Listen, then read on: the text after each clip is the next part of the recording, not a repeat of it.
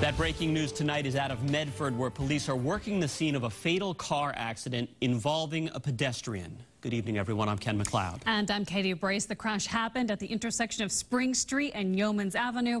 And that's where we find WBZ's Jim Smith, who is working the story right now. Well, Katie and Ken, a heartbreaking scene here in Medford, and it's still an active scene. Let me get out of the way and show you what's happening right now. Authorities are getting set to transport the vehicle away from this location. We assume that this is the vehicle that the driver was operating at the time of this tragedy. So far, we have one person dead and two others with extremely serious injuries.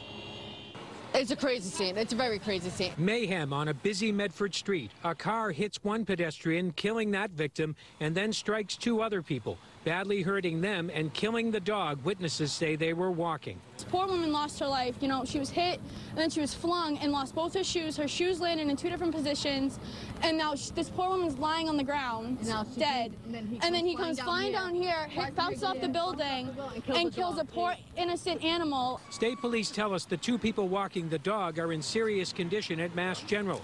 State and local police gathered evidence by the car. Local people say that driver continued after the first victim was hit up the street. He hit the woman, um, kept so going. He tried to get down the street, couldn't make it, hit the wall.